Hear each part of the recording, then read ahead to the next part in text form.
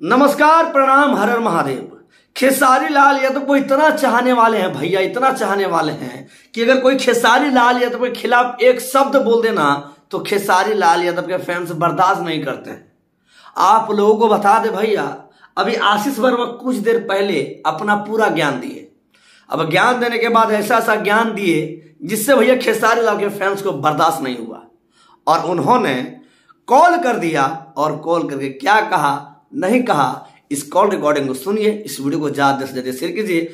और आपका जो राय है भैया हमारे कमेंट बॉक्स में ज़रूर दीजिएगा। सुनिए ये भैया कॉल रिकॉर्डिंग हेलो हाँ।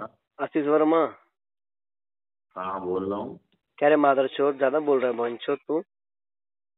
कौन भाई?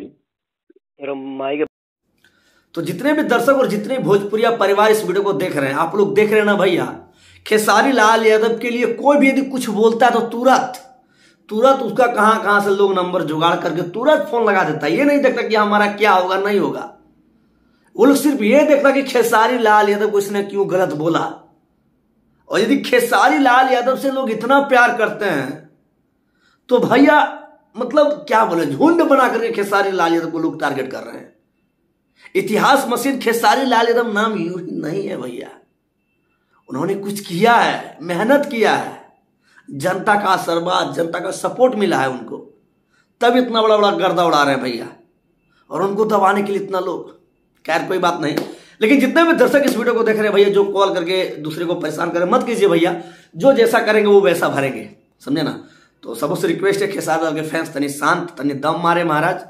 गुस्सा में कुछ काम अच्छा नहीं होता, जिसको तो इसको फ़ोन करके आप लोग रेल मत दें। बाकी इस वीडियो को शेयर करें। आपका राय क्या कमेंट बॉक्स में ज़रूर कमेंट करके बताएँ। फिर मिलते हैं अगले वीडियो में। धन्यवाद। I love you good night शुभ रात्रि